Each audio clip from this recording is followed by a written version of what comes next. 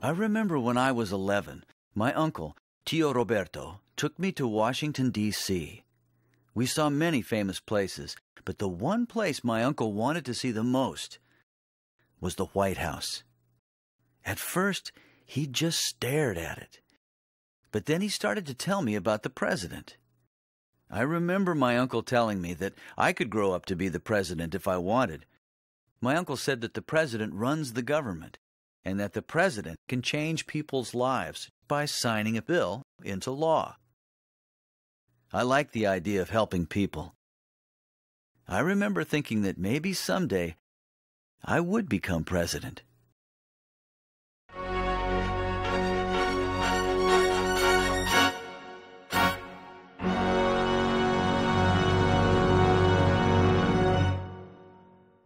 The founders of our country debated whether the executive branch should be headed by one person or by a group of people. It was decided that a single chief executive, called the president, would govern better than a group. Even though some people feared that a president would be too much like a king or queen, most agreed it was the best plan. The founders also had long debates about how much power the president should have. Many thought that if the president could veto or reject bills from the legislative branch, they would be too powerful. However, most of the founders were willing to take a chance on having a powerful president.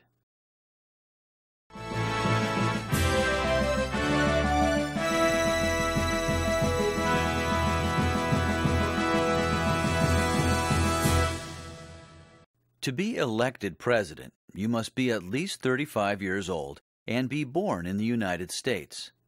You also must have lived in the United States for at least 14 years before becoming president. To run for president, it helps to belong to a political party. A political party is an organization of people who have similar ideas about how to run the government. There have been many political parties in this country. The best known are the Democrats and the Republicans. But there are many others, like the Green Party and the Libertarians. Political parties have conventions or large meetings where they elect one of their members to run for president. Delegates and my fellow citizens, I proudly accept your nomination. The party then helps their presidential candidate campaign. The campaign is to let voters know how their candidate will run the government. There is a presidential election every four years, so the president serves a four year term. At the end of the term, the president can be re-elected for a second four year term, but a person can only be elected president for two terms. The presidential election is held on the first Tuesday after the first Monday in November. If you are at least 18 years old and are a U.S. citizen, you can vote in the election. People vote for the candidate they believe will best run the country. But the people don't exactly choose the president. That's done by a small group of people called electors. The founders of our country decided to have electors choose the president because they believed that the average citizen didn't always make the best choices. Electors are worthy citizens who are chosen by voters and political parties. There is one elector for every U.S. Senator and U.S. Representative in a state. This group of electors is called the Electoral College. The people's votes tell the electors whom the people want to be president. And it doesn't happen often, but if any elector disagrees with the people's decision, then the elector can vote for a different candidate. The candidate with the most electoral votes is elected president. So it's actually the Electoral College that elects the president, not the people. Two and a half months after the election, on January 20th, the person elected president will become president. The president is sworn into office by the Chief Justice of the Supreme Court. I, William Jefferson Clinton, do solemnly swear. After a president is sworn into office, they give a speech about what they want to do for the country. With the American dream alive for all her children.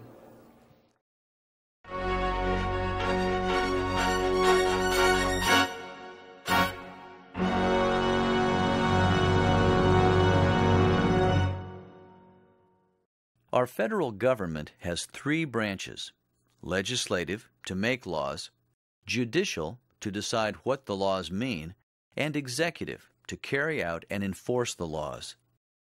The President, the Vice President, and the Cabinet make up the executive branch. The President is the head of the executive branch. The President and the executive branch are located in Washington, D.C. The President lives and works in the White House. The role of the President is to run the government and carry out the laws made by Congress. The Vice President, who is elected along with the President, will become the President if the President dies, resigns, or is unable to work. The Vice President works in the executive branch but is also the President of the Senate. The Senate is one of the two houses of the legislative branch of our government. The other house is the House of Representatives. The Senate is a group of 100 elected people, two from each state. They create laws that help run the country. A majority of the senators must vote for a law to pass it. When there is a tie vote, the vice president can vote to break the tie. The cabinet is a group of people who give advice to the president on how to run the government. The people in the cabinet are in charge of the various departments of the executive branch. The president appoints these people. They will have their job as long as the president is in office. The Senate must approve all of these appointments, and then the Supreme Court Chief Justice can swear them into office. Without any mental reservation or purpose of evasion. The President oversees the executive branch departments, so the President meets with the cabinet members each week to make decisions about how to run each department. These departments actually do the work of the government. For example, the Department of Agriculture works with farmers and ranchers. The Department of Labor helps workers and businesses. The Department of Education works to make sure everyone gets a good education. The Department of Homeland Security was created to protect people within our borders. President George W. Bush created it after the terrorist attacks on September 11th of 2001. The head of each of the departments, along with the vice president, make up the cabinet. Every president since George Washington has relied on a cabinet for help in carrying out the duties of the executive branch. President Washington had three people in his cabinet. Under later presidents, the number of cabinet members grew as the executive branch took on more duties. The president and the cabinet are responsible for such things as educating our citizens, helping farmers grow crops, and managing our natural resources like trees, oil, and water.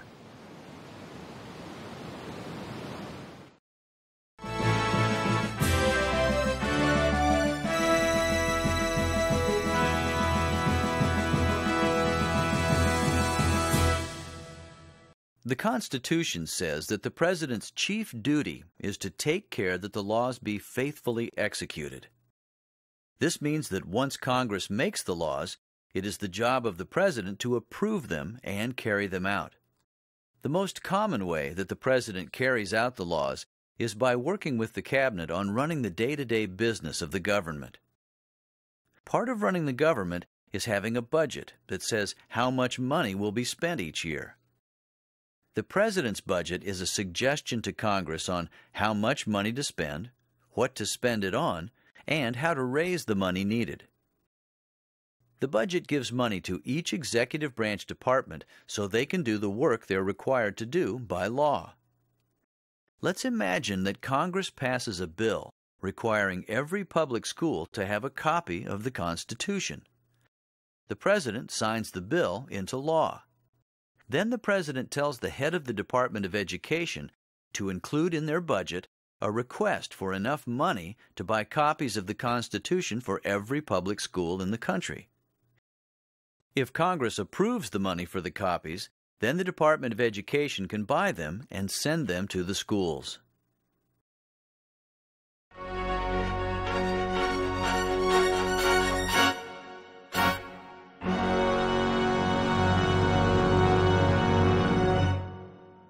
The President makes a speech each year to Congress. It is the duty of the President to inform Congress of the state of the Union. In other words, how the federal government is running. Every year, by law and by custom, we meet here to consider the state of the Union. The President also tells Congress what they can do to help the government. The President may recommend bills for Congress to pass. These are bills the President will sign into law because the President believes they will help the country. Thank you for coming. The President is our representative in the world. Me dio la bienvenida a su casa en Guanajuato. Our President meets with the leaders of other countries, such as Russia, Ghana, and Mexico. The President can make agreements with these leaders. These agreements are called treaties. The Senate must approve these treaties. Many treaties are for peace, and others may be for trade, territory, or some other common interest. The President is the Commander in Chief, or leader of the Army, Navy, Air Force, Marines, Coast Guard, and when necessary, the National Guard. Our nation's military takes their orders from the President. The President visits many of the military bases to show support for the troops and to make sure the military is ready to protect our country. As Commander in Chief, the President can authorize the use of military troops overseas without declaring war. To declare war officially, the President must get the approval of Congress. To protect our country at home, the President oversees the FBI, CIA, INS, and other federal law enforcement agencies. These agencies help the President carry out the laws of the nation by enforcing them. They're like a police department for the whole country. I see now that my uncle, Tio Roberto, was right. The President is very powerful and very busy.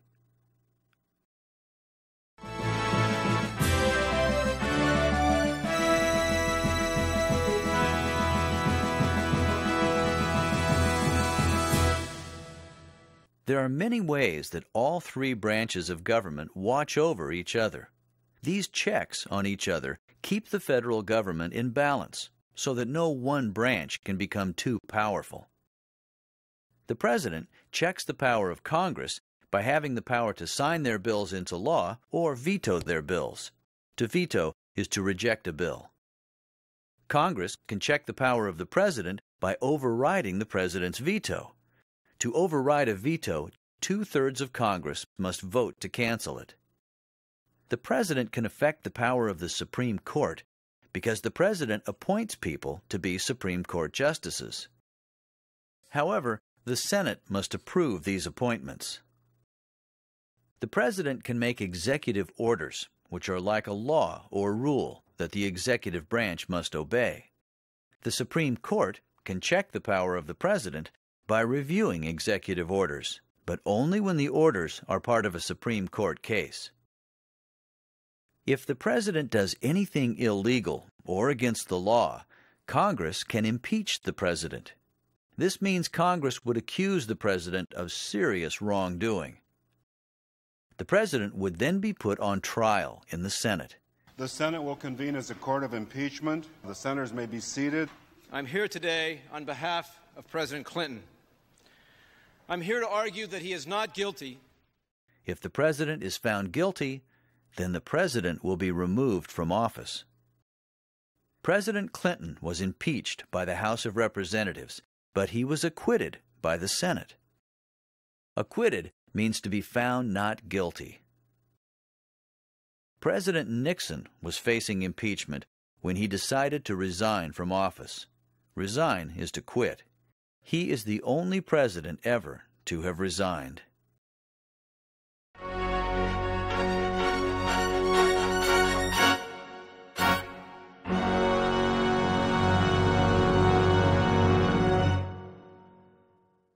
The purpose of the executive branch is to enforce laws, lead the military, work with other countries, and run the government.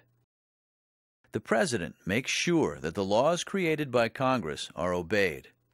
And the President is the leader we rely on to keep the federal government running. We also depend on the President to protect us and our rights. As my uncle, Tio Roberto, said, the President of the United States is a very important person. The President can change people's lives by signing a bill into law. It's amazing how one person, like the President, can help so many people.